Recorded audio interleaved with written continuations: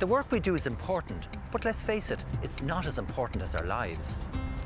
The Safe System of Work plan is all about eliminating hazards by putting controls in place.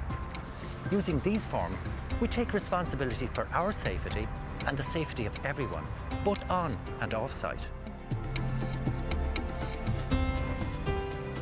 It's a good system, so let's make it work.